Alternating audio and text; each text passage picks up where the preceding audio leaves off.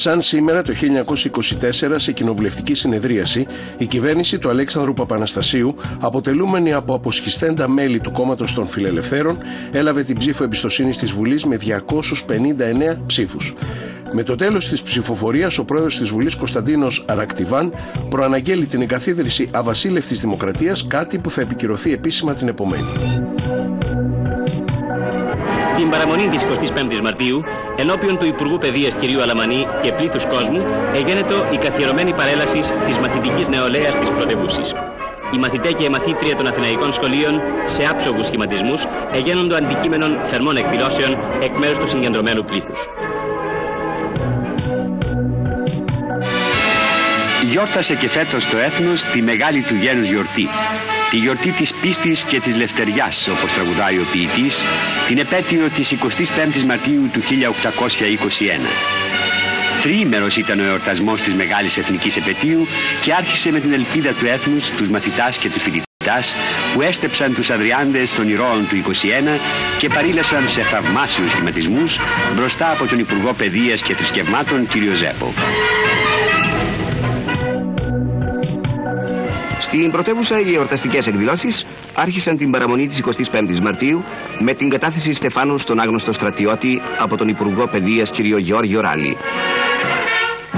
Ακολούθησε παρέλαση της σπουδάζουσας νεολαίας σε ωραίους και εντυπωσιακούς σχηματισμούς, δίνοντας ένα ζωντανό παρόν στην εθνική μας γιορτή. Παρήλεσαν μαθητές των δημοσίων δημοτικών σχολείων, σπουδαστές της ανωτέρας και ανωτάτης παιδείας, πρόσκοποι και οδηγοί. Το ίδιο απόγευμα έγινε στην Ακαδημία Πανηγυρική Συνεδρία. Μίλησε ο πρόεδρος της Ακαδημίας, κ. Πέτρος Χάρης, με θέμα ο μεγάλος ελληνικός θρύλος.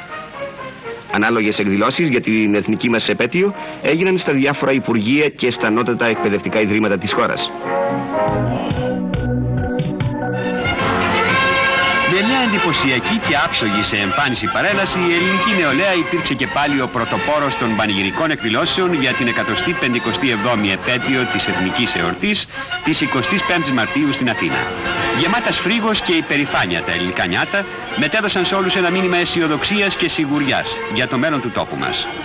Χιλιάδες νέοι και νέες της Μέσης, της Ανωτέρας και της Ανωτάτης Εκπαιδεύσεως πήραν μέρος στην εθνική μας εορτή παρελάβνοντας τον άγνωστο στρατιώτη μπροστά στον Υπουργό Παιδείας κ. Βαρβιτσιώτη.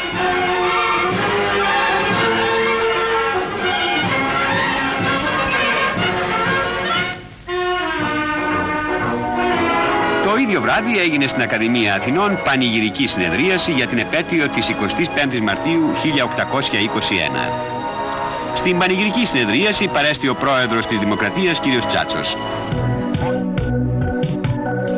Στις 23 και στις 24 Μαρτίου, το Μάστριχ φιλοξένησε τους ηγέτες των 10 χωρών της κοινής αγοράς, που επρόκειτο να εξετάσουν από κοινού διάφορα θέματα, διεθνή και κοινοτικά, τα οποία ενδιαφέρουν ιδιαίτερα τα κράτη της Ευρωπαϊκής Κοινότητας. Η άφηξη των αρχηγών των κυβερνήσεων των χωρών της Ευρωπαϊκής Οικονομικής Κοινότητας στο διοικητήριο της πόλεως έγινε με κάθε επισημότητα. Η άφηξη του κυρίου Γεωργίου Ράλη. Το συνόδευε ο Υπουργός Εξωτερικών κ. Μητσοτάκης. Ήταν η πρώτη φορά που Έλληνας Πρωθυπουργός μετήχε ισότιμα σε διάσκεψη ηγετών της ΕΟΚ, εκπροσωπώντας τη χώρα μας που από την 1η Ιανουαρίου 1981 αποτελεί το 10ο μέλος των Ευρωπαϊκών Κοινοτήτων.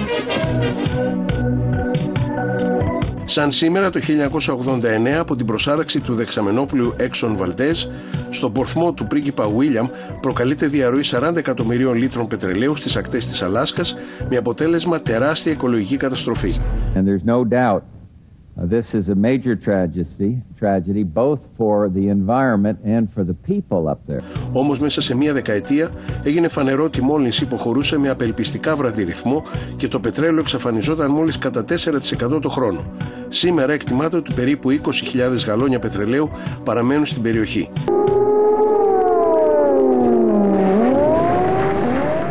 Λίγα λεπτά πριν τις 8 το βράδυ, σαν σήμερα το 1999, οι πρώτοι πύραυλοι που είχαν εκτοξευθεί από ανατοϊκά πολεμικά πλοία στην Αδριατική έπληξαν συστήματα αεράμινα στο Κόσοβο, το Μαυροβούνιο και τη Δυτική Σερβία. Είναι η πρώτη επίθεση στην ιστορία της συμμαχίας κατά κυρίαρχου κράτους. Οι νατοϊκοί βομβαρδισμοί κατά της Ιουκοσλαβίας ήταν η μεγαλύτερη στρατιωτική επιχείρηση στην Ευρώπη μετά το Δεύτερο Παγκόσμιο Πόλεμο.